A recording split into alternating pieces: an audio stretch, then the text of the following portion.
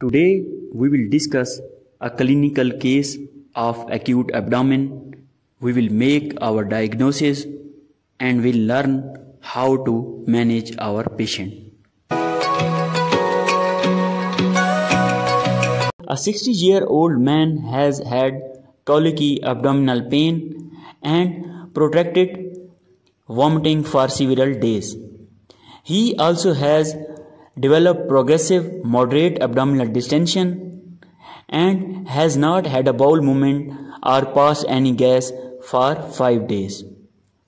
He has high pitched loud bowel sounds that coincide with the colicky pain and his x-ray shows distended loops of small bowel and air fluid levels.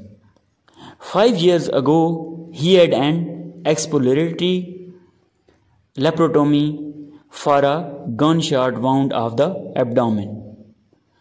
Six hours after being hospitalized and placed on NG suction and IV fluids, he develops fever, leukocytosis, abdominal tenderness, and rebound tenderness. If you see this case, it's a similar case as I discussed in my last video. But here, our conservative treatment is unsuccessful because after being hospitalized and placed on NG suction and IV fluids, our patient develops fever, leukocytosis, abdominal tenderness, and rebound tenderness. So, what will be your diagnosis here and how you manage this patient?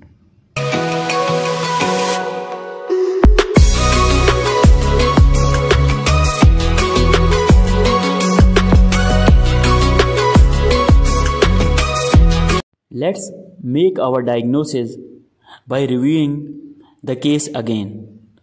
If you see above to this statement, our patient looks like he has before with incarcerated hernia. But he is treated with conservative management, but unfortunately conservative management is failed. And he shows some earlier signs of strangulated hernia like fever, leukocytosis, abdominal tenderness, and rebound tenderness. So, this patient has strangulated obstruction, and for management, he needs emergency surgery. This obstruction can either be complete obstruction or partial obstruction. Now, how we manage this patient? First, Treatment starts with NPO, NG suction and IV fluids. Also, hope for spontaneous resolution and watching for early signs of strangulation.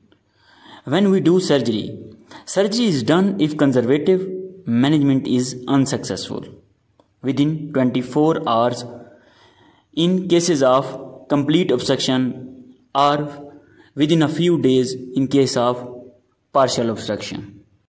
If you see this image, it shows strangulated hernia. So here strangulated obstruction occurs due to compromised blood supply leading to bowel ischemia. And also here patient develops fever, leukocytosis, tenderness, rebound tenderness and also signs of peritoneal irritation.